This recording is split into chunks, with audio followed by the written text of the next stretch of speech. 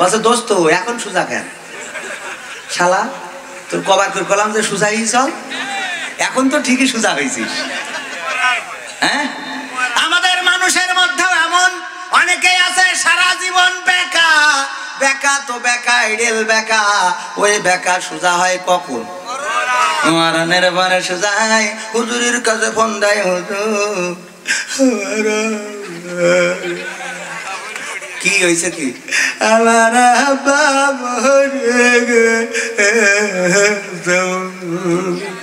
তো মরি গেছে তো অসুবিধা নেই। আপনি একটু এসে জানাজা পড়াই দিয়ে কারণ ও তো আজীবনে জানাজাই বোঝে না। কোনটা জানাজার নামাজ আর কোনটা ঈদুল আজহার নামাজ এটাই তো বোঝে না। ও জানাজা পড়াবে কি? আর ও যদি সামনে যায় তা তো মানুষ তো মানুষ ফেরেস্তারাও দৌড় দেবে।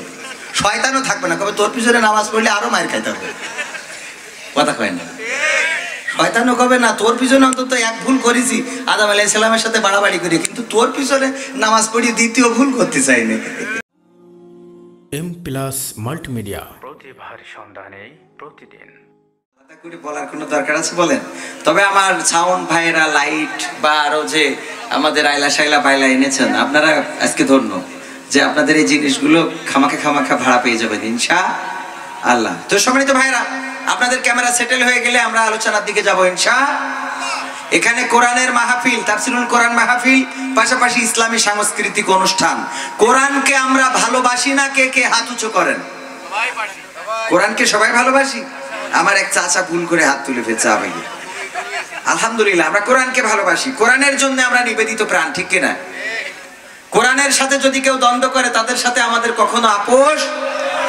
যদি আমার পিতা হয় যদি আমার মা হয়, আমার ভাই, বোন, আত্মীয় স্বজন, এমনকি যদি মাই ওয়াইফ হয়, কি? এটার সাথে আপোষ করা যাবে? কোরআনের সাথে যারা দ্বন্দ্ব করবে, তাদের সাথে কোনো আপোষ হবে? সম্মানিত ভাইরা কোরআনের জন্য নিবেদিত প্রাণ হয়ে অনেকেই কাজ করেছেন। কেউ ইতিহাস হয়ে আছেন, শহীদ হয়েছেন, রক্ত দিয়েছেন, জীবন দিয়েছেন।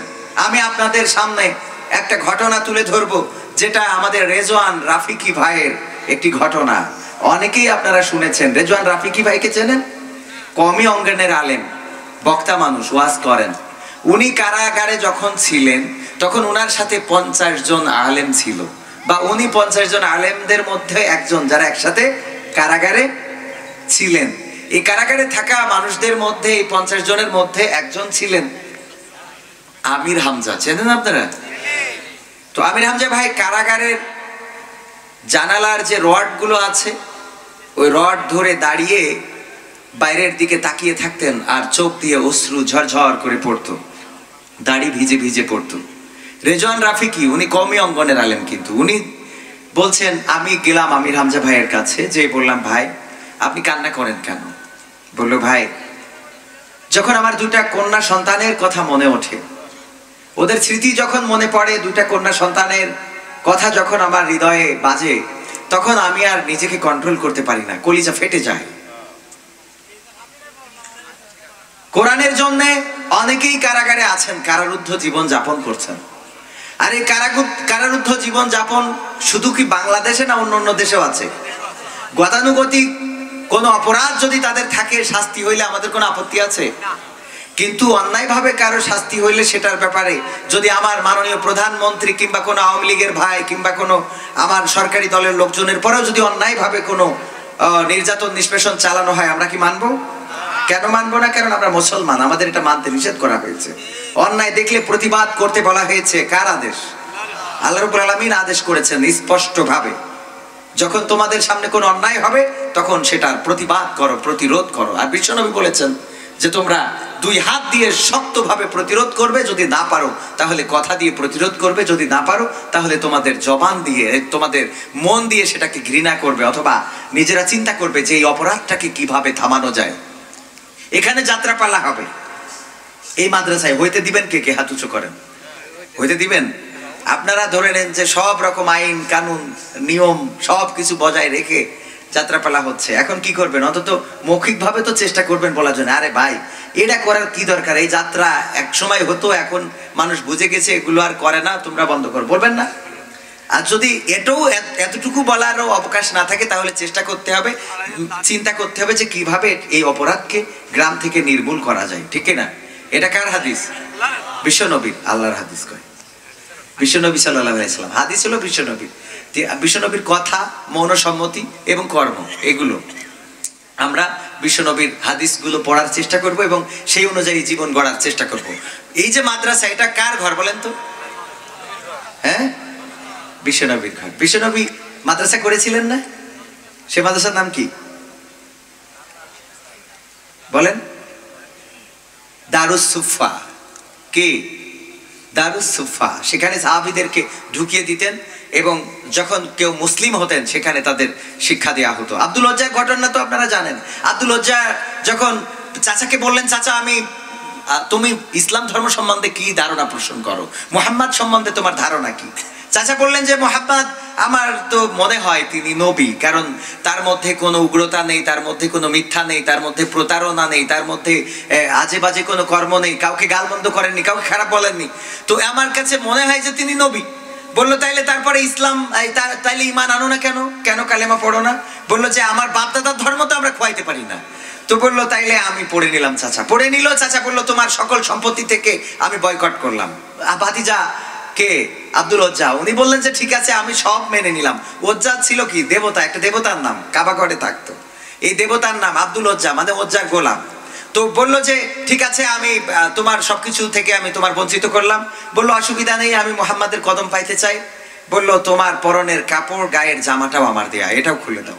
খুলে দিলেন, মার কাছে চলে গেলেন, ঘটনা সবারই মনে হয় জানা আছে। মা একটা কাপড় দিলেন, সেই কাপড়টা ছিঁড়ে দুভাগ করে গায়ের উপরে কিছু জড়ালেন এবং কিছু পরলেন। নবী সাল্লাহ সাল্লামের দরবারে গেলেন। আল্লাহ নবী বললেন, তুমি কে? বলল, আমার নাম আব্দুল উজ্জা। কেন এসেছ?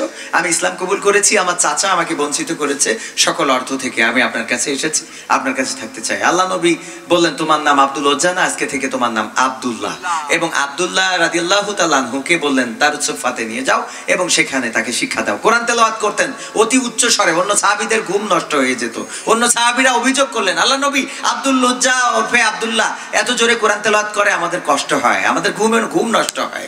আল্লাহ নবী বললেন, তোমরা আব্দুল লজ্জা বা আব্দুল্লাহর পরে এই রাগটা করো না, তাকে গালবন্ধ করো না, তাকে বকা দিও না, তাকে ধমক দিও না, তার ব্যাপারে অভিযোগ নিয়ে এসো না, কারণ তোমরা অনেকে ইসলাম কবুল করেছ, অনেকেই অনেক কিছু ত্যাগ করেছ, কিন্তু আব্দুল লজ্জা, আবদুল্লাহ এমন কিছু ত্যাগ করেছে যে নিজের পরনের কাপড়টাও সাথে আনতে পারে নাই। আল্লাহ একবার আরে আল্লাহ একবার কইতেও আপনাদের কষ্ট। আমার মুহতারাম শ্রোতাভাজন আগে আলোচনা করে গেছেন, উনি বলেছেন যে আমরা কবরস্থানে কথা যেন না বলি। যদি আপনারা কবরস্থানের মতো হয়ে যান তাহলে আমরা তো শ্মশান হয়ে যাব। কারণ আপনাদের স্প্রিয়া নিয়ে আমাদের কথা বলতে হয়। মাহফিল শোনার পরে শ্রোতারা চলে যায় বক্তাও চলে যায়, কমিটি থেকে যায়। আসলে বক্তাদের আতঙ্ক আছে না নাই? শ্রোতা তো শুনতে আসছিল, চলে গেছে। ও তো কিছু বলে নাই। ওর কোনো অপরাধ আছে? কিন্তু বক্তা বলেছে, কথা ডানি থেকে বাই গেছে। মাঝে মাঝে স্টেজে দেখেন না, জুতা টুতা নিয়ে আসে, লাঠি নিয়ে আসে, কুড়াল নিয়ে আসে, দা নিয়ে আসে। দেখেছেন? ইউটিউবে দেখা যায় না এরকম? বক্তারা দেখেছেন কিনা তো তাইলে বক্তার আতঙ্ক আছে না নাই? আছে, শ্রোতার আছে। বরং শ্রোতারা করে কি, যদি উল্টো পাল্টা হয়, ওরা জুতো মুতো চেলে একেবারে শেষ। তো ভাইরা আমার আমরা এখানে বসেছি, আমাদের জবান দিয়েছে কে? এই জবান দিয়ে যে আল্লাহর নাম উচ্চারণ করতে পারে না, এই জবান দিয়ে যে আল্লাহর কথা বলতে পারে না, এই জবান দিয়ে যে আল্লাহর প্রশংসা আদায় করতে পারে না, আমি বলব তার চেয়ে অকৃতজ্ঞ ব্যক্তি পৃথিবীর পরে, জমিনের উপরে, আসমানের নিচে নেই বলেন ঠিক কিনা? কারণ জবান দিয়েছেন আল্লাহ রবুল আলমিন। তবে যদি এমন হয় যে আপনারা আমার মতো ছোট মানুষের কথা শুনে জবাব দেবেন না, তাইলে আমার কোনো দুঃখ নাই। কারণ এরকম একটা ঘটনা আমি শুনছিলাম যে একজন স্বামী স্ত্রী ওদের খুব দ্বন্দ্ব বাঁধে, যেই গোলমাল বাঁধে তালাক দেয়, দিলে চলে যায়। আবার কয়দিন পরে ঘুরে আসে। আবার গোলমাল বাঁধে, আবার তালাক দেয়, আবার চলে যায়। আবার কয়দিন পরে ঘুরে আসে, আবার তালাক দেয় যে তোর দুই তালাক, তিন তালাক, একশো তালাক, পাঁচশো তালাক, তোর মার তালাক, বাপের তালাক। চলে যায়, আবার আসে। তো পাড়ার মহিলারা এটা দেখলে একটু খারাপ লাগে না? যে বলতেছে, এই মহিলা, তোর কি কোনো লজ্জা সরব নেই নাকি? তো দুদিন অন্তর তালাক দেয়, চলে যায় আবার আসিস, চলে যায় আবার আসিস, চলে যায় আবার আসিস। ঘটনাটা কি? বলছে, ওর কথা শোনে কিনা ওর কথা শোনে কিনা এখন আমার কথা যদি শোনে কিনা হয়ে যায়, যে আমি যাই বলি, আপনারা শুনবেন না, তাইলে তো আমি এক ঘণ্টা খেয়ে সারা দিন ধরে ওয়াজ করলেও তো শোনাইতে পারব না। পারব? তো এই জন্যে আমরা কিছু সময় এখানে এসেছি। আল্লাহ রবুল আলমিন আমাদের উপরে সন্তুষ্ট হয়েছেন। আল্লাহ রবুল আলমিন সন্তুষ্ট না হইলে আমাদের এখানে আসতে দেননি। এই তীরের হাটের অনেক বাসিন্দা এখানে আসতে বলেন আল্লাহ রবুল আলমিন যদি কবুল না করেন আপনি চাইলেও আসতে পারবেন না বসতে পারবেন না। যেদিন আপনি আল্লাহর কাছে সিজদা দেওয়ার জন্য নিয়ত করবেন আল্লাহ রব্বুল আলামিন যদি আপনার সিজদাটা নিতে না চান তাহলে ওই দিন দেখবেন যে ঠ্যাং ভেঙে দিয়েছে। কথা কয় না? ওই দিন ঠ্যাং ভেঙে গেছে হাসপাতালে। নিয়ত করেছিলেন, আজকে থেকে নামাজ পড়ব। আর আজকে আপনি ঠ্যাং ভেঙে গেছে, আর সিজদা দেওয়ার ক্ষমতা নাই। এই জন্য আল্লাহর কাছে সিজদা দিতে হলেও আল্লাহর কবুলিয়াতের দরকার আছে না নাই? আল্লাহ রব্বুল আলামিন যদি কবুল না করেন, দাড়ি রাখবেন, নিয়ত করেছেন, দাড়ি রাখবেন, বিয়ের পরে রাখবেন। কিন্তু বিয়ের আগে যে আপনার দেহেতে নেটওয়ার্ক চলে যাবে না, তার গ্যারান্টি কি? কথা কয় না। বিয়ের আগে বাইক নিয়ে বেরিয়েছেন আপনি মেন রোডে উঠতে যেয়ে হঠাৎ করে টিরাক এসে চাপাতেছে আপনার ঠ্যাং একদিকে আর পা আর একদিকে মাথা একদিকে ঘেনু আর একদিকে ঘটে না ঘটে না তার মানে কবুলিয়াতের দরকার আছে না নাই আপনি দাড়ি রাখতে চাইলেই পারবেন না আপনি টুপি পরতে চাইলেই পারবেন না আপনি কোরআনের মাহফিল শুনতে চাইলেই পারবেন না যদি আমার আল্লাহ কবুল না করেন وإذا قرئ القرآن فاستمعوا له وأنصتوا لعلكم ترحمون আল্লাহ রাব্বুল আলামিন বলছেন যখন তোমাদের সামনে কোরআন তেলাওয়াত করা হয় যখন তোমাদের সামনে কোরআন থেকে পড়া হয় কোরআন থেকে বলা হয় তখন তোমরা হৃদয়ের কান দিয়ে শোনো যাতে করে তোমাদের উপরে আল্লাহর রহমত বর্ষণ হতে পারে বলেন সুবহানাল্লাহ আল্লাহর রহমত আমরা চাই না চাই না আল্লাহর রহমতটা কি জিনিস? আল্লাহর রহমত হলো আপনার দুইটা চোখ আছে। এই চোখ দুইটা আল্লাহর দেওয়া রহমত। কিন্তু চোখই শুধু রহমত না, এই চোখের মধ্যে আল্লাহ যে দৃষ্টিটা দিয়েছেন, এই দৃষ্টিটা হলো রহমত। চোখের মধ্যে কি? কথা কয় না। আপনার অনেকেই কানা। চোখ আছে, চোখ ঘুরায়, দেখবেন মনিটরি সব আছে, দেখতে পায় না। কারণ কি? দৃষ্টিটা কেড়ে নিয়েছেন। এই দৃষ্টিটা হলো আল্লাহর রহমত। আল্লাহ চোখ দিয়েছেন। কান আছে না সবার? কারোর কানের লেয়ার ভিতরে চলে গেছে। কেউ এক কানে শোনে না, কেউ দুই কানেই শোনে না। কারোর ম্যাশিং লাগে, আর কারোর যাই জোরে বলে এই ভালো আছো? কয় হ্যাঁ খাইয়ে আসলাম তোকে বলে। কয় না কয় না? কয়, তুমি বাড়ি আসলে কবে? বলতে হ্যাঁ পায়খানা ফিতে দিই, বদনা খুঁজছিলাম, পাইনি, পরে আর আগে উনি কি? বলেন এক, শোনে আর এক। কান আছে, কিন্তু আল্লাহ রহমত নাই। রহমতটা কি? সোনা। এই সোনাটা কেড়ে নিয়েছেন। আল্লাহ এই ব্যাপারে কিন্তু সুন্দর করে বলে দিয়েছেন। খতম আলা আলা সামঈহিম ওয়া আলা আবসারিহিম গিশাওয়াতুম ওয়া লাহুম আযাবুন আযীম আল্লাহ রাব্বুল আলামিন বলছেন, ওদেরকে যতই বলো, বইলে লাভ নেই, ওরা শুনবে না। কারণ ওদের কানে আর চকি পর্দা আবরণ ফেলে দিছি। আর অন্তরের মধ্যে সিলগালা করে দিছি, মোহর মেরে দিছি। এই জন্য যতই আপনি মাইকিং করেন, পোস্টারিং করেন, প্রচার করেন, ওরা আসবে না। আর চার দোকানে বসে বসে বলবে, নাট্যকার কেন এনেছে? কথা কয় না। কারণ কি? কারণ ওদের আবরণ। বিশ্বনবীকে বলেছেন? বিশ্বনবীকে পাগল বলেছেন? আমার বিশ্বনবীর গায়ে থুতু নিক্ষেপ করেছেন। আমার বিশ্বনবী যখন সিজদায় গিয়েছেন, তখন উটের পচা নাড়ি ভুড়িগুলো মাথার উপরে চাপিয়ে দিয়েছেন, নির্যাতন করেছেন, নিষ্পেষণ করেছেন, এমনকি মেরে রক্তাক্ত করেছেন। তাইফের ময়দানে আমার বিশ্বনবীর পায়ের জুতা আটকে গেছে গায়ের রক্তে। ওহুদের ময়দানে দান দান ভেঙেছেন। আমার নবী সাতাশটি যুদ্ধ করেছেন নিজের হাতে তরবারি নিয়ে। বিশ্বনবী মানুষদের ঘরে ঘরে গিয়েছেন। মানুষের বাড়িতে বাড়িতে গিয়ে দাওয়াত দিয়েছেন। এই মক্কাবাসী দাওয়াত কবুল করে নাই অনেকেই, এমনকি মক্কা থেকে বিতাড়িত করে মদিনায় পাঠিয়ে দিয়েছেন, বলেন ঠিক কিনা? এখনও সেই যুগ আছে না নাই? মাঝে মাঝে অনেক দেশতে তাড়িয়ে মালয়েশিয়ায় পাঠিয়ে দেয়। জাকির নায়েক ভারতে কি তার জায়গা হয়েছে? নিজের দেশে জায়গা নাই, আল্লাহ রব্বুল আলামিন তাকে মহাজির করে রেখেছেন কোথায়? কথা কয় না। মালয়েশিয়ায় সেখানে সম্মানের সাথে আছে না অপমানের সাথে আছে? সরকার পর্যন্ত তাকে নিরাপত্তা দেয় সুন্দর সুন্দর অনুষ্ঠানে অ্যাটেন্ড করায়। আল্লাহ রবুল আলমিন যাকে সম্মানিত করতে চান এভাবে সম্মানিত করেন। বিভিন্ন দেশে এভাবে নির্যাতন নিষ্পেষণ হয়েছে। আমার দেশে যদিও হয় নাই অসুবিধে নাই। তারপরেও নাম না বলা অনেকেই। আমার দেশ তো বাইরে আছে না।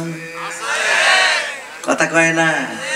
ও আমার কোরআনের পক্ষে থাকবেন, ইটের গুতা খাবেন না, এটা তো হবে না। কোরআনের পক্ষে থাকবেন, আপনার গালের দাঁত ভাঙবে না, তা হইতে পারে। আপনি যদি আওয়ামী লীগ করেন, মার্কা কি? কথা কয় না, জোরে। আওয়ামী লীগ করলে মার্কা কি? বিএনপি করলে মার্কা কি?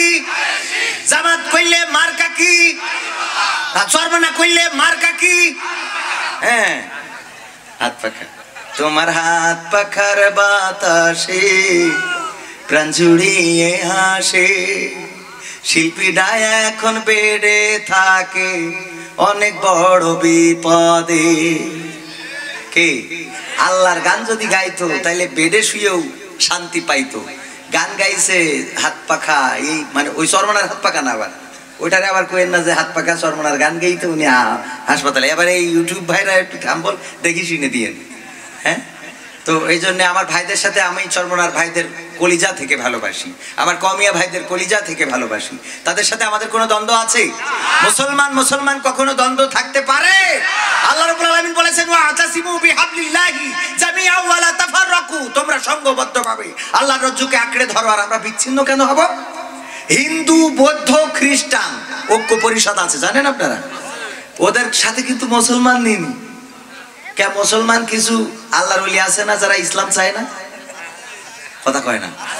সংবিধানে রাষ্ট্র, ধর্ম, ইসলাম আছে বলে তোমার কেন জলে রে বন্ধু? তোমার কেন জলি? শয়তানে জালে কি আগুন তোমারই বগলে তোমার কেন জলে রে বন্ধু? তোমার কেন জলে? ইসলাম হলো শান্তির ধর্ম, আছে সুবিচার। অন্য ধর্মের প্রতি কভু করে নাই বিচার মিলেমিশে থাকার কথা, মিলেমিশে দিয়েছেন নবী বলে, তোমার কেন জলের টাকলাই তোমার কেন জলে? আছে নিষেধ ধর্ম নিয়ে করা বাড়াবাড়ি না জানিলে কিতাব খুলে? দেখো তাড়াতাড়ি। যার ধর্ম সে করবে পালন যার ধর্ম সে করবে পালন, কোরআনেতে বলে, তোমার কেন জলের মশালা? তোমার কেন জলে? আল্লাহ ওদের ব্যাপারে পবিত্র কোরআনে রেকর্ড করে দিয়েছেন। ইউরিদুনা লিয়ুতফিউ নূরাল্লাহি বিআফওয়াহিহিম ওয়াল্লাহু মুতিম্মু নূরিহি ওয়ালাউ কারিহাল কাফিরুন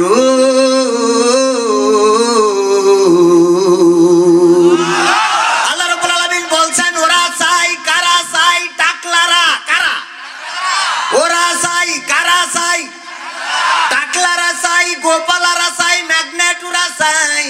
মুখের ফু দিয়ে কোরআনের আলোকে নির্বাপিত করে দেবে। কিন্তু না না না, কোনোদিনও তারা পারবে না। আল্লাহ রবুল আলমিন তিনি চান তিনার দিনের আলোকে প্রজ্বলিত করে রাখবে। যতই তাদের কলজের মধ্যে আগুন ধরে যাক না কেন।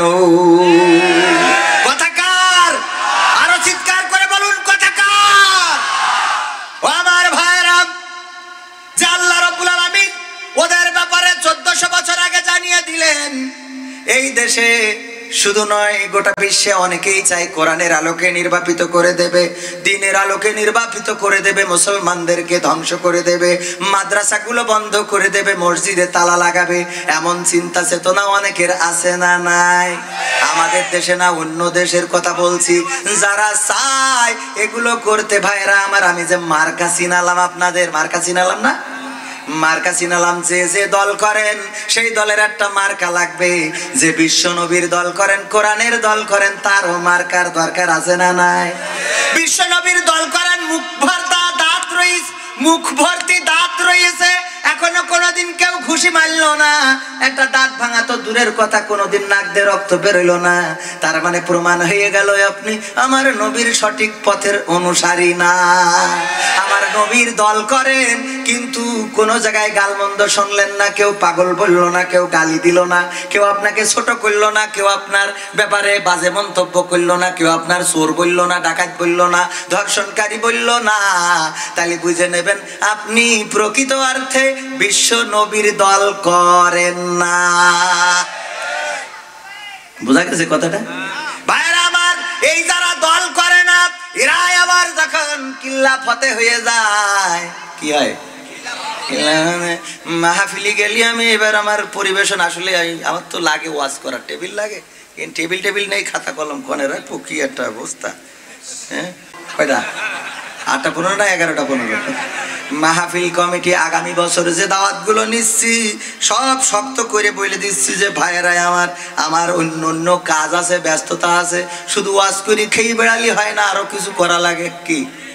আরও কিছু করা লাগে না? ওই যে বলছে, আমি ওইটা বলতে চাই না, তাও আজকে এখানে বলবা না। কারণ এখানে ওইটা বলার স্টেজ ঠিকই না। এই জন্যই খাটো জামা। আমি ওয়াজ করার সময় জুপ্পা পরে আসি, জানেন আপনারা? জুপ্পা পরি। আর জুব্বাই পরবেন, আপনারা চেষ্টা করবেন। বিশ্বনবীর মার্কা দরকার আছে না, দাড়ি দরকার আছে কি না এগুলো সেভ করবেন, আর সেভ করবেন না সেভ করবেন। কি করবেন? সেভ না করে সেভ করবেন, পারবেন এটা? কবরে যাবেন, যাওয়ার পরে যখন বলবেন, ওগো নবী, আমি তোমায় ভালো বাসি আমার নবী মার্কা দেখে বুঝে ফেলাবে যে তুমি কোন মার্কার লোক। কবরে বুড়ো হামান হইয়া গেছাও, হাসপাতালের বেডে পড়ে আসো জানত থাকতে খালি রাবিশ রাবিশ করতে। এখনও তোমার মুখ কিলিং শেপ মারা। তুমি যদি বলো, রাসুল, আমি তোমায় ভালোবাসি। আমার রাসুল বলবে, তোমার বোঝা শেষ, তুমি কোন মার্কার লোক? আমার এখানে অনেকেই আছেন। ধরে নেন দুইজন আনারস আর একজনের মার্কা কলা গাছ। কি? আনারস আর কলা গাছ। এই ধরেন বাম পাশে যিনি, উনি দাঁড়াইছে আনারস মার্কায় আর ডান পাশে যে দাঁড়াইছে কলা গাছ মার্কায়। আমি সমস্ত গায়ে মার্কা লাগালাম কলা গাছের। কের মার্কা? কলা গাছ। এখানে এখানে এখানে। লাগাই না অনেকে? ব্যাসে ট্যাসে নাকে গেঞ্জিতি তারপরে জামাই, টুপিতি, হাত পাকা আছে না নাই? পাঞ্জাবিতি এরম থাকে। অনেক যে যে মার্কা ভালোবাসে সে সেভাবে লাগে। এটা লাগানোর পরে আমি কলা গাছের মার্কা সব জায়গায় লাগালাম। এই পাশে যে আনারস মার্কার লোক, ওর বাড়িতে যেই বলছি নিয়ে আসেন। ও গো আনারস চেয়ারম্যান, আমি তোমায় ভালো বাসি আমার চেয়ারম্যান বলবে, আনারসের চেয়ারম্যান, মার্কার যিনি, উনি বলবে যে ধৈর্য চেক করি দেখো পাগল কিনা? পাগল হলি পাবনায় পাঠাও। আর যদি মানুষ ভালো হয়, তাইলে কাঠি খুলিয়ে দাও। কি খুলিয়ে দাও? কারণ কি? এক জায়গার মার্কা নিয়ে যে আর এক জায়গায় কই ভালোবাসি? ও বলবে, তুই যদি আমার ভালোবাসতিস তাহলে তোর কলা গাছ লাগাই নো কেন সব? অন্তত দুটো একটা আনারস তো ফাঁকে ফোকে থাকতো। নাকি? কবরে যাওয়ার পরে, মারা যাওয়ার পরে আমাদেরকে বলবে, বিসমিল্লাহি আলা মিল্লাতি রাসূলিল্লাহ কি কবরে রাখার সময় বলে না বলে না। আপনারা অনেকেই জানেনও না। কারণ এখানে যদি আমি হাত উঁচু করাই, যদি বলি ভাইয়েরাই আমার বলেন জানাজার দোয়া পারেন কয়জন? যদি বলি, যাক, অনেক শুক্রিয়া। যদি বলি জানাজার দোয়া, পড়তে পারেন কে কে, হাত উঁচু করাবো না। একটু নিজের বিবেকের কাছে প্রশ্ন করেন, কতজনের জানাজায় আপনি গিয়েছেন? আর সেই জানাজায় যে জানাজার দোয়াটাও আপনি পড়েননি, তাইলে আপনার জানাজায় ওইরাম না পড়া মুসাল্লিরা এসে পড়িয়ে যাবে। কথা কয় না। আপনি যেমন তেমনই তো হবে। আপনি যদি আর একজনের জানা যায় যে জানাজার দোয়াটা না পারেন, তবে আমার দেশে আবার অনেকে আছে, ওরা কোনটা জানাজার নামাজ আর কোনটা ঈদিন নামাজ এটাও জানে না। আছে না নাই? ঈদের সান উঠেছে সান উঠছে কিনা দেখার জন্য ছেলে নিয়ে গেলাম, চান দেখতে পেলাম না, মেঘের জ্বালায়। বললাম, চল যাই, টেলিভিশন জুড়ে টেলিভিশনতে খবর নিয়ে নেবানে টেলিভিশন জুড়ে দেখি, আমাদের একজন নেতা বলতেছে যে, আগামীকাল সকাল নয়টার সময় ঈদুল আজহার জানাজার নামাজ হবে। ঈদুল আজহার কে নামাজ? জানাজার নামাজ হবে, আমি ছেলির কলাম খুকা। ঈদ তো একটা মরি সারা। ঈদ তো একটা মরে গেছে। ঈদুল আজহার জানাজা হবে কালকে নটায়। মরে যাতেও পারে কারণ অনেকদিন ধরে আসা যাওয়া করতে করতে ক্লান্ত হয়ে গেছে। বুড়ো হয়ে গেছে এই জন্যই সৌদি আরবে আইলো ওখানে গরম পড়ে বেশি হার্ট স্ট্রোক করি মনে হয় মরে গেছে। না জানি কবে আবার আর একটা যে ঈদ বাকি আছে, ঈদাও মেরি ফেলাই দেয়। কথা কয় না। আমার ভাইরা, এমন জানাজা পড়ার লোক আছে, যেই বলে শিগগির পার্টি নিয়ে আই, লোক সিজদা দেবে কনে, সব দাঁড়াই যাচ্ছে। লোক সিজদা দেবে কনে, পার্টি নিয়ে আবার যখন ইমাম সাহেব ছানা পড়ে তারপরে তাকবির বলে, আল্লাহ একবার হাত তো আর তোলা লাগে না। জানা নামাই নামাজে কিন্তু বারবার হাত তোলা লাগে না। অনেকে আবার বারবার হাত তোলে। যখন দ্বিতীয় তাকবির বলে, প্রথম তাকবীরের পরে দ্বিতীয় তাকবির যেই বলে, ওই আল্লাহর অলিরা দেখা যায় রুকুতি যে খুঁজি দেখে কেউ আসিনি আমি একা। কি? কেউ আসেনি আমি একা। এ কি ভুল করলাম? আবার উঠে দাঁড়ায়। এই যদি হয় তোমার জানাজার অবস্থা, তাইলে তুমি মরে গেলি, তোমার কি অবস্থা হবে একটু চিন্তা করে দেখো। আবার এইসব আল্লাহর অলিরা যখন আমরা মাহফিলে আসি, তখন বলে, সময়টা তো বড্ড খারাপ, আপনি তো ভাই সব জানেন। বুঝে শুনে কথা বলে, ওয়াজের ইতি টানেন কি কয়? সময়টা তো বড্ড খারাপ, আপনি তো ভাই সব জানেন। বুঝে শুনে কথা বলে, ওয়াজের ইতি টানেন। উস্কানি ফুসকানি মূলক বলবেন না কোনো কথা। এই মঞ্চে রাজনীতি ভাই করবেন না অযথা। আমরাও ভাই কোরআন জানি, মানি মোটামুটি। ঝামেলাতে থাকি মাঝে মাঝে, নিয়ে ভোটা ফুটি ছোটবেলায় শিখেছিলাম আলিফ বাতাসা কোরআন হাদিস মোটেও জানি না, এমন কিন্তু না। তাই রাজনীতি চলবে না, ও ভাই রাজনীতি চলবে না, তাই রাজনীতি চলবে না, হুজুর রাজনীতি চলবে। ও মুখ হুজুর ওয়াজ করে কত মধুর সুর। কবরেতে গেলে পাব সত্তর হাজার এরা মস্করার লোক আছে না নাই? যখন ওই দেশ থেকে এই দেশে আসবে। কত হুজুরির দেখলাম সোচ্চার কণ্ঠে ঘোষণা দিতে যে জাকির নায়ককে বাংলার জমিনে ঢুকতে দেওয়া হবে না, এয়ারপোর্ট ঘেরাও করা হবে। কিন্তু যখন আমার দাদার দেশ থেকে আর একটা জিনিস এসে ঘুরে গেল, নেচে গেল গেয়ে গেল, তখন এই হুজুরিরা কোনো কথা কইল না। এতে করে বুঝে গেলাম এরা আর পৃথিবীর পরে বেঁচে নেই। কে? বেঁচে থাকলে অন্তত ফোস তো করতো ফোস করা বোঝেন না?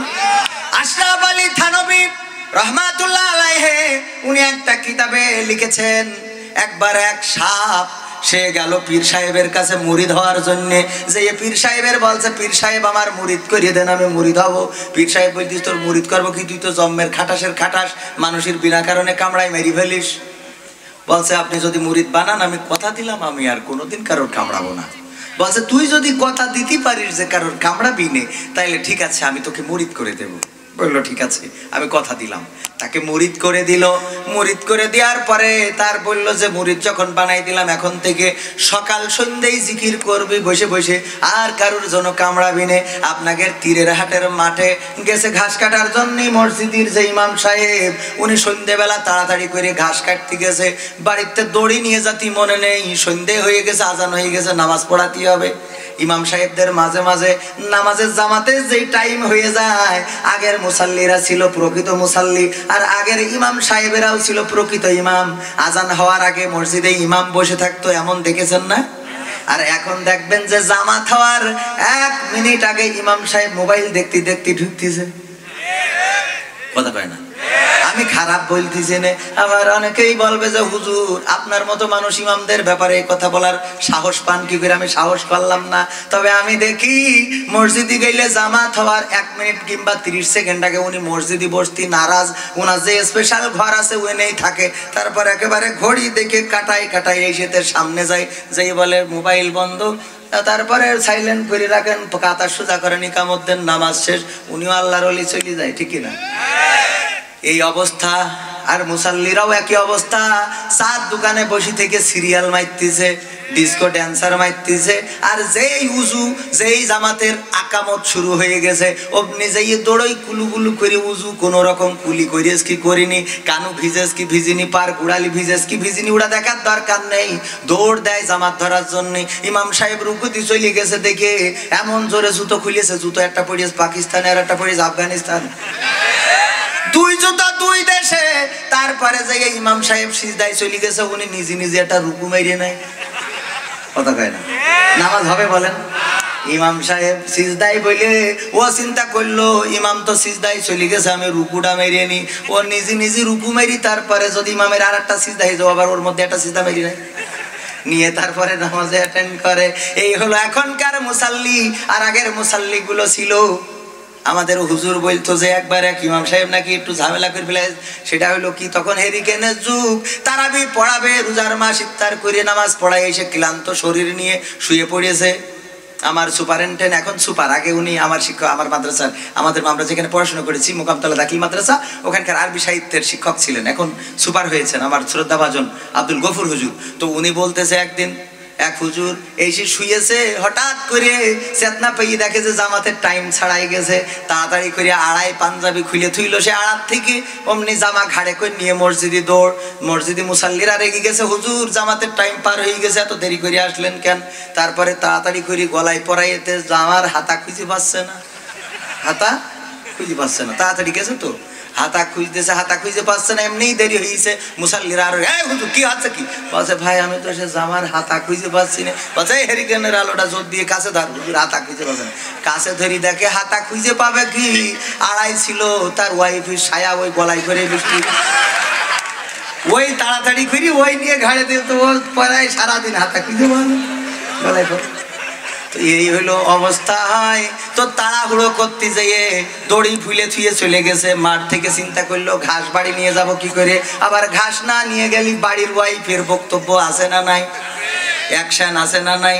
আজকে ঘাস কাটনি, তোমার ভাত আজকে কিলো বানে এরাম বউ আছে না নাই? বাজারতে দেরি করে আসলি আমনি গরমান এত দেরি এ করে ছিলে? করে কি পাইছা ওটাকে হ্যাঁ? তোমার বিয়ে করে আমি জলিপুরি মরছি, আমার কত জায়গায় বিয়ে হতে চাইলো জানো? হ্যাঁ? মেম্বারের ছেলে আমার কতবার চকলেট খাওয়াইছে। আর চেয়ারম্যানের ছেলে গোলাপ ফুল নিয়ে চোদ্দ তারিখে দাঁড়াইছিল। আর এমপি মন্ত্রীর ছেলে আমার ভার্সিটিতে পিকনিক নিয়ে যেতে চাইলো। আমি তোমার বিয়ে করি জলিপুরি সারকার হয়ে যাচ্ছি হ্যাঁ? আছে না নাই? বিয়ের সময় কান্দে না কান্দে না। কবুল পড়ার সময় মনে পড়ে যায়। প্রথম কবুলে যখন বলে, তীরের হাটের বাসিন্দা মকসেদের ছেলির সাথে তোমার পঞ্চাশ হাজার টাকা বাকি দেন মহরে। লগত তো দেন না, খাটাসের গোষ্ঠী আমি লগত দিলাম, বাড়ি এসে ফেরত দিতেছি। একদম। আর এখন যেভাবে ইনকাম করি মাঝে মাঝে এতে মাইরিং করে। কি করব? আমি কই, আন্দাজেই কই কই আজকে কয় টাকা কই হ্যাঁ এই নিছ, আমি কম দেখছি কয়, পাঁচশো নিছি। আন্দাজে বলে ধরি ফেলি। এ একটুখানি পাম মারলি কই যায়। ঠিক আছে না? হ্যাঁ। ভাইরা আমার, আমি ইউটিউবার ভাইদের বলে রাখি, এই অংশটা কাটবেন না। কোন অংশ এখন যা বলছি, এটা সাংস্কৃতিক অনুষ্ঠান। আমাকে সংস্কৃতির কথা বলে ডেকে এনেছে। অনেকেই বলবে যে, হুজুর ওয়াজ করতেছে, এইসব কি বলতেছে না তো সাংস্কৃতিক অনুষ্ঠান। বরং ওয়াজ করছি এটা হলো বোনাস। এটা কি? কথা কয় না। হ্যাঁ। তো ভাইরা আমার, আমি সাংস্কৃতিক অনুষ্ঠান করতে চাই না এবং নতুন করে সাংস্কৃতিক অনুষ্ঠানের কোনো দাওয়াতও নিই না। কারণ হলো, আমার এই সাংস্কৃতিক অনুষ্ঠান যখন মিডিয়ায় যায়, তখন অনেকেই বলে, হুজুরির অবস্থা দেখো, এইসব করি বেড়াচ্ছে। আমরা যা করি ভালোর জন্যে করি। ওর ওই যে যখন ভারত থেকে এসে ওই আল্লাহর অলি নেচে যায় তখন ওর কমেন্ট দেখা যায় না। কথা কয় না। নাউজুবিল্লাহ বলেন না কেন? যখন এসে নেচে যায়, কথা বলে না, যখন আমার প্রিয় পরিমণি, কার প্রিয়? আমি যখন তিন দিন বিয়ে করে চার দিনের মাথায় বলে গর্ভবতী, তখন কেউ কাপনের কাপড় খোঁজে না, তোর কাপনের না, ওই কাবিনীর কাগজ দেখেন। তখন কাবিনীর কাগজ লাগে না কিন্তু যখন হুজুর ধরা তখন কাবিনীর কাগজ দরকার। কথা কয় না, আমি যতই আসতে বলি, আপনারা আসতে বলবেন কেন আমার হুজুর কি করেছে? তাড়াতাড়ি করে আমার হুজুর ঘাস কেটে ঘাস বানবে সন্ধ্যে হয়ে গেছে, অন্ধকার, মসজিদে নামাজ পড়াতে হবে। দেখে যে না, একটা শুয়ে আছে। শুয়ে আছে, ওইটা মনে করিস কলা শুভলা কারণ ওই সাপটা জিকির করতেছে শুয়ে তো ওইটা তাড়াতাড়ি করে নিয়ে সন্ধ্যেবেলা ঘাস বেঁধে নিয়ে বাড়ি নিয়ে আইছে। বোর কইছে খুলে নিয়ে কেটে এনে দৌড়ে নিয়ে যাইতে মন ছিল না, কলা শুভলা দে বান্ধিছে বউ খুলিছে এখন সাপের তো বেকায়দা অবস্থা। ওই করতে করতে পীর সাহেবের কাছে যেই বলছে, ও পীর সাহেব, আল্লাহর অলি আমি তো শেষ। কেন, কি হয়েছে দেখেন, ঘাড় তো শেষ, মুড়াই, ঘাড় আর লেজ আর সাপেকের দোষ হলে তো সোজা হয় না। হয়? সোজা হয় কখন? সাপেদের চরিত্র কিছু মানুষের মধ্যেও আছে না নাই? মানুষের মধ্যেও সাপের চরিত্র আছে, সারা জীবন এড়িয়েল বেকা। ওর সামনে যাই বলেন, ও হুজুর দেখতে পারে না বুঝলে, ভালো হুজুরও খারাপ খারাপ হুজুরও খারাপ। কি? যে হুজুর দেখতে পারে না, ওর কাছে ভালো হুজুরও ভালো না, আর আমার মতো খারাপ হুজুরও ভালো। না, এরম বেকা লোক আছে ওদের যতই বলেন কব্বরে যাওয়ার আগ পর্যন্ত সোজা হবে না। একবার নাকি একটা শৈল মাছ আর একটা সাপ দুইজনে বন্ধু পাতাইয়েছে। পাতাইয়ে দুইজন গল্প করতে করতে যাচ্ছে, তা সাপ এরাম এরাম করতে করতে যাচ্ছে, ওই মাছ কাছে থাকতে পারছে না, দূরে যাইতেছে। সাপ ওই মাছ বলতেছে, দোস্ত, তোর ইয়ে অবস্থা কেন? একটু সোজা হয়ে চল। বলছে, ওরে, ও করিস নি। তোর সাথে যা যাব বন্ধু পাতাইছি, একসাথে গলা ধরে, তার তো কোনো কায়দা নেই, তোর তো আমার ছেড়ে চলে যেতে হবে। তো ওই তাও এই করে যায়। বলছে, দোস্ত, তোর আল্লাহ কিরি করি চল। ও তো তো চলেই না। পরে রাগ করি, মাছ বলছে, যা, তোর সাথে আমার কোনো সম্পর্কই নেই। মাছ একদিকে চলে গেছে, সাপ যাচ্ছে ওখানে আবার আপনাকে তীরের হাটের মকসেদ মিয়া জাল পেতে রেখেছে মাছ ধরার জন্য। ও ওই জালে বেঁধে বসে রেখেছে ও যা জালে সাপ বাঁধে, তাহলে আর জালে মাছ বাঁধে বলেন। কারণ সাপ তো বিপদে পড়ে আছে। মাছেরা ওইটা বিশ্বাস করে না। মাছে গেলে যতই বলুক যে, ভাই, দেখ আমি বিপদে পড়েছি, তোরা আয়, কোনো অসুবিধে নেই। মাছ কয়, না, শালা, তুই খাওয়ার জন্য বসে রয়েছিস। ওই জালে আর মাছ বাঁধিনি বুঝলে মকসেদ সাহেব? যখন জাল তুলেছে, তুলে দেখে সাপ, ওই সাপের ইচ্ছা মতো কষাইছে। কষাই আলির পরে ফেলাই রেখেছে। মেরি মেরি ফেলাই তুলি সোজা হবে না হবে না। এখন ওই মাছটা ঘুরতে ঘুরতে এসে দেখে ওর সে দোস্ত সিটপটাং বলছে, দোস্ত, এখন সোজা কেন? শালা, তোর কবার করে কলাম যে সোজা চল এখন তো ঠিকই সোজা হয়েছিস হ্যাঁ? আমাদের মানুষের মধ্যেও এমন অনেকেই আছে, সারা জীবন বেকা। বেকা তো বেকা এডেল বেকা। ওই বেকা সোজা হয় কখন? মারানের পরে সোজা হয় হুজুরের কাছে ফোন দেয়, হুজুর কি হয়েছে কি? আমার।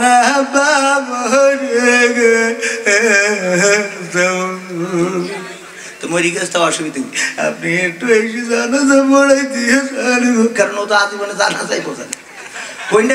নামাজ আর নামাজ, এটাই তো বোঝে না। ও কি? আর ও যদি সামনে তা মানুষ তো মানুষ দৌড় দেবে। শয়তানও থাকবে না। কবে তোর পিছনে নামাজ পড়লে আরও মায়ের খাইতে হবে। কথা কয় না। শয়তানও কবে না, তোর পিছনে অন্তত এক ভুল করেছি। আদাম আলাই সালামের সাথে বাড়াবাড়ি করি, কিন্তু তোর পিছনে নামাজ পড়ি দ্বিতীয় ভুল করতে চাইনি। আমার ভাইরা এই মরার পরে সোজা হয়, তারপরে হুজুরে ডেকে নিয়ে যায়। হুজুর যাইয়েতে পড়ে, কি? বিসমিল্লাহি ওয়ালা মিল্লাতি রাসূলিল্লাহ। তবে জানা হুজুর যারা এই হুজুরগুলো তরকারি হুজুর আর দরকারি হুজুর দুই জাতের হুজুর আছে। এক হুজুর হইল তরকারি পালি বগল বাজায় সব জায়েজ হয়ে যায়। আর এক হুজুর হইল দরকারি হুজুর। তরকারি হুজুরির যদি প্রমাণ আপনাদের সামনে পেশ করি তরকারি হুজুর হইল এমন সাইয়েদ কুতুব শহীদ রহমাতুল্লাহ আলাইহে মিশরের নাম জানেন কিরা কিরা হাত উঁচু করেন। সাইয়েদ কুতুব। যারা নাম জানেন তাদের বুঝতে সহজ হয়েছে। আর যারা জানেন না, তারা জেনে নেন ফি জিলালিল কোরআন। এই তাফসির যিনি লিখেছেন সৈয়দ কুতুব শহীদ রহমাতুল্লাহ উনি যখন মিশরে কালেমার ব্যাখ্যা করলেন কোরআনের প্রকৃত ব্যাখ্যাগুলো সামনে উপস্থাপন করলেন। তখন মিশরের তৎকালীন সরকার তার অ্যারেস্ট করল, তার ফাঁসির আদেশ দিয়ে দিল, ফাঁসি কার্যকরের দিন চলে আসলো। তখন একজন ইমাম সাহেব এসেছে, এসে বলছে যে, আমি আপনার কাছে আসছি। আসসালামু আলাইকুম রহমতুল্লাহ। আমি আপনার কাছে আসছি আপনাকে একটু তৌবা তালিম করার জন্য। আমি আপনাকে কালেমা পড়ানোর জন্য আসছি। উনি বলছেন, আপনি কে? বলছে, আমি এই রাষ্ট্রের একজন ইমাম। যখন কারও ফাঁসির আদেশ কার্যকর করা তখন আমি রাষ্ট্রীয়ভাবে তাকে তৌবা তালিম করে কালেমা পড়াইয়ে দিই। সাইয়েদ কুতুব শহীদ রহমাতুল্লাহ আলাইহি বললেন, ও ইমাম সাহেব, আপনি যে কালেমা আমাকে পড়াতে এসেছেন, ওই কালেমার ব্যাখ্যা করার কারণে আমাকে আজকে ফাঁসির কাষ্টে ঝুলতে হচ্ছে। অথচ সেই একই কালেমা আপনি রাষ্ট্রীয়ভাবে আমাকে পড়াতে এসেছেন। আপনার কালেমা আপনার তরকারির ব্যবস্থা করে দেয় আর আমার কালেমা আমাকে ফাঁসির কাষ্টে ঝুলিয়ে জান্নাতে পৌঁছে দেয়। ও আমার ভাইয়েরা, এই জন্য আলেম তরকারি আলেম আর দরকারি আলেম আছে না নাই? এই তরকারি আলেমেরা তরকারি পাইলেই উড়ার হক কথা বলে না। আর দরকারি আলেমগুলো যদি ফাঁসির কাষ্ঠ সামনে চলে আসে, তবুও হক কথা বলতে কখনো দ্বিধাবোধ করে না, বরং তারা জিজ্ঞেস করে, কোন কাপড় পরিতে ঝলবো? কথা কয় না? আমার ভাইরা বাবা জিরাই আমার। এখন হুজুর পড়ল বিসমিল্লাহি ওয়ালা মিল্লাতি রসুলিল্লাহ। কিন্তু বুজা হুজুরগুলো এটা পড়বে না বুজা হুজুর পড়বে বিসমিল্লাহি ওয়ালা মিল্লাতি নরেন্দ্র মোদি। বিসমিল্লাহি ওয়ালা মিল্লাতি বাইডেন। বিসমিল্লাহি ওয়ালা মিল্লাতি পুতিন। বিসমিল্লাহি ওয়ালা মিল্লাতি ওং সাং সুসি কারণ কি? সারাটা জীবন আপনি দল করে গেলেন নরেন্দ্র মোদীর। সারাটা জীবন আপনি দল করে গেলেন বাইডেনের। সারাটা জীবন দল করে গেলেন পুতিনের। আর মরে যাওয়ার পরে আপনি কি করে বলেন যে আমি আপনার আপনার ইমাম সাহেব যখন বলে, ওগো রাসুল, আমি আপনার মিল্লাতে আপনার দলে উঠাই দিয়ে গেলাম। এটা কি আমার রাসুল মানবে নাকি? মানবে বলেন? কিন্তু দরকারি হুজুররা এই কথাটা বলবে না। কারণ ওরা জানে, সারা জীবন দল করিছে খাটাসের ওরা এখন রসুলের ঘাড়ে দেবো কেন? রসুলের ঘাড়ে দিলি তো নেবেও না। আমার চাচাজি, নাম কি চাচা? আব্দুল মান্নান খান, কত সুন্দর নাম দেখেন। আব্দুল মান্নান খান সাহেবের বললাম, ও আব্দুল মান্নান খান সাহেব আঙ্কেল আমার কি একটা গরু পুষানি দোয়া যায়? পুষানি বলুন তো, আপনারা কি বলেন? পুষানি গরু কি পুষানি দেওয়া যায়। আপনার তো অনেকগুলো গরু আছে, একটা গায়ে গরু যদি পুষানি দিতেন, দুই ছেলে, এক বউ নিয়ে ভালোভাবে সংসারটা চলে যেত। ওয়াজ তো সারা জীবন চলে না, রোজার মাস ওয়াজ বন্ধ। সেরি খাব কি দিয়ে? যদি একটা গরু পুষানি দিতেন বলছে, গরু যে তুমি পুষ্পা তোমার বইল কই? আমি বললাম বইল নেই তাই কি আমি ওই যে ওয়ান টাইম খুঁটি পাওয়া যায়, ওই যে মোড়ের মাথায় বানাই, ওই কিনে নিতে ওই বারোর হাট থেকে, বাড়ি বাজার থেকে কিনে নিতে আমি লাগাইয়ে টিনি ছাপড়াতে নিয়ে গোল বানা বানে বলছে, তোমার মশারি কই? আমি বললাম, মশারি নেই তাই কি আমি ওয়াজ করি যে টাকা পাই ওই যে কয়েল ধরা বানে বলছে, তুমি ঘাস কাটবা কখন? তুমি তো ওয়াজ করি বেড়াও খালি। আমি বললাম ঘাস কাটি আর না কাটি। ওয়াজ করলি তো তাও দু চার পয়সা দেয়। ওই দিয়ে ভুসি কিনবানে আর কোল কিনবানে কিনে খাওয়াবানে গরুর অযত্ন হইবেন না। বলছে, তুমি পুষতে পারবা না। কি? তার মানে দেবে? আব্দুল মান্নান চাচা, তাই তো? আব্দুল মান্নান খান। উনি তার মানে গরু পুষানি দেবে না হঠাৎ করে চৈত বৈশাখের দিন উত্তর গগনে কালো মেঘ জমা হয়েছে বিশাল মেঘ। তারপরে দুমদাম শুরু হয়ে গেছে। দুমদাম পড়তে পড়তে একটা পড়েছে আমার আব্দুল মান্নান খান সাহেবের গৈলির পরে। পরের দিন সকালবেলা আমি মেসোয়াব করতেছি উনি ডাক দিয়েছে এই কবির বিন সামাদ বলছি চাচা আমার ডাকতেছি। হ্যাঁ তোমার ডাকতেছি। শোনো আমি বলছি কি চাচা কিছু বলবেন? বলছে, ওই যে গরু নিতে চাইলে না তুমি তো দিলি তো নিতাম। বলছো গইলে আছে লোকজন ডেকে দিয়ে এসে নিয়ে যাও। আমি বলছি যে চাচা, আপনি একটা বুড়ো হয়ে গেছে মুরব্বী হয়ে গেছে এক পা করে এক পা ধরে। আর আমিও তো হুজুর মানুষ, অত খারাপ তো আর না। তো, আর লোক ডাকবো কি করতি? গরু, একটা বাছুর হলে আপনি নেবেন, আর একটা আমি নেব, এইভাবেই চলবে। তো বলছে, একা পারবেন বলে তো মনে হয় না। দেখো গইলি যেই, আমি গইলি যেই দেখি, চার হাত পাই এক মুখ। নাকে হাত দিলাম, দেখি টাওয়ার পাচ্ছে না। লেজেও নেটওয়ার্ক নেই। মাছি মশা মাছি এগুলো বসছে তো তাড়াচ্ছে না, কারণ তো নেটওয়ার্ক পাচ্ছে না, তাড়াবে কি? আমি আসতে করি বললাম চাষা গরু কি মরি গেছ নাই তা বলছে, মরি গেছ বলে তো তোমার ডাকছে। গরুটা ফেলাতে আমি বললাম চাষা আমি যতই ওয়াজ করে বেড়াই, হুজুর হয়ে এতটা পাগল না। জ্যান্ত থাকতি গরুটা সালাম দিলেন না।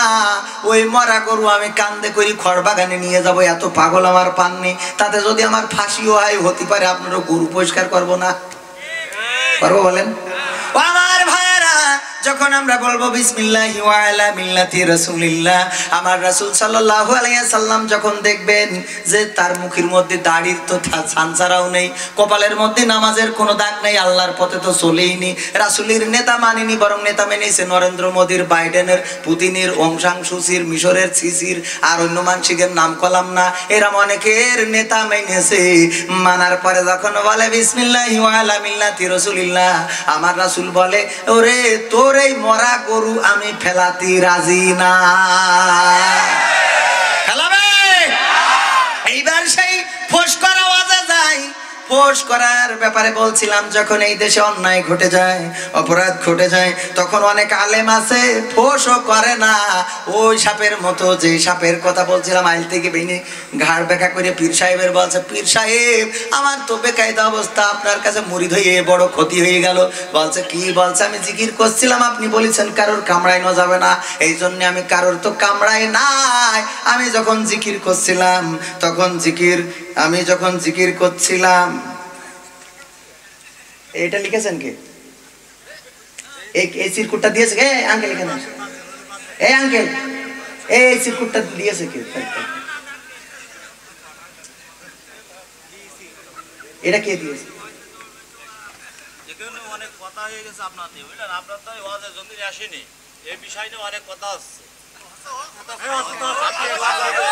اللهم آمين ربنا ظلمنا أنفسنا وإن لم تغفر لنا وترحمنا لنكونن من الخاسرين মহিয়ান গরিয়ান সর্বশক্তিমান পরওয়ারদিগার মাবুদ মাওলা আল্লাহ গো তোমার দরবারে দোকানে শূন্য হাত তুলেছি।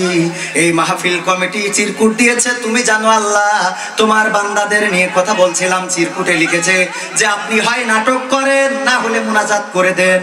ও গো আল্লাহ আমি নাটক করব না মোনাজাত করে দিলাম গো আল্লাহ। তুমি দয়া করে তোমার বান্দাদেরকে কবুল করে নাও যারা মন ভরে ওয়াজ শুনছিল। ও তুলেছি। তুমি দয়া করে আমাদের জীবনের গুণাগুলো ক্ষমা করে দাও। আমরা যারা জেনে গুণা করেছি, যারা না জেনে করেছি, বুঝে করেছি, না বুঝে করেছি ও আল্লাহ, তুমি দয়া করে আমাদের জীবনের গুণাগুলো ক্ষমা করে দাও। করল আর শোনার জন্য যারা আসলো, তুমি তাদেরকে কবুল করে নাও, দিনের জন্য কবুল করে নাও। আল্লাহ, তোমার কাছে করে ফরিয়াদ, তুমি জানো, আমি এখানকার দাওয়াত নেওয়ার সময় বলেছি, নাটক করব না, এই শর্তে দাওয়াত নিয়েছি। এর পরেও যারা আমার ব্রেনের পরে চাপ দিল, তাদের বিচার তুমি করে দিও। মা বোনদের জন্য কথা বলতে চেয়েছিলাম, গান শোনাতে চেয়েছিলাম, মারুন করল। আল্লাহ তুমি বিচার করে দিও।